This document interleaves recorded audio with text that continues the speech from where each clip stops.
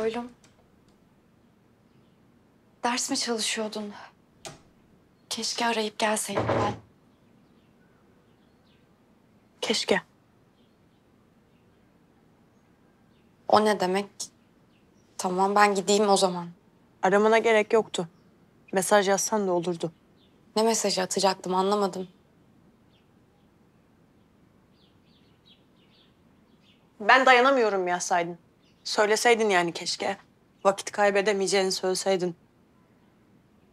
Çok acelen olduğunu, dayanamayacağını söyleseydin.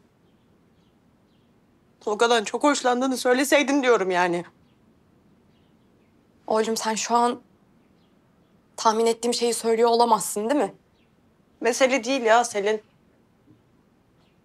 Gerçekten biz ayrılık yani Tolga'yla. Teoride benim sevgilim değil. Da yani bu kadar çabuk olur mu yani böyle bir şey ya? Ben gerçekten yanlış anlamışım yani. Sen sahiden Ozan'a hiçbir şey hissetmemişsin. Ben her şeyi çok yanlış anlamışım. Ama ne bileyim ya biraz bekleseydiniz. Biraz bekleseydiniz ya. Yani ne ara gece kulübüne gitmek, magazine ne ara yakalandınız ya? Ne ara evine ne ara gittiniz? Nasıl inanırsın? İnanırsın o saçma şeylere nasıl inanırsın? Sen beni hiç mi tanıyamadın? Bunca yıllık dostluğunu, kardeşini sen beni hiç tanıyamadın mı? Böyle bir şey sen bana nasıl yakıştırabildin ki? Böyle bir şey bana nasıl yakıştırabildin ki sen? Ben bunu sana nasıl yapabilirim ki?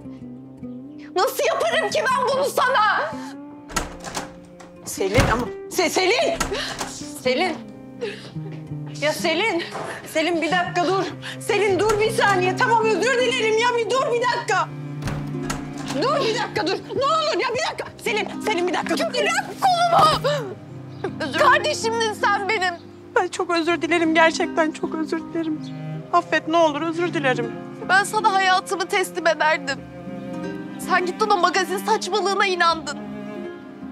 Ayrıldınız diye benim hemen Tolga'yla sevgili olacağıma inandın. Hayır hayır hayır bir dakika ya bir dakika ya bir dakika evet inandım mı ya ama ben darmadağındım. Selin darmadağındım çok özür dilerim ne olur konuşalım affet ne olur özür dile. Oylum. Arkadaşlarımızın bir önemi yok artık. Hayır ya.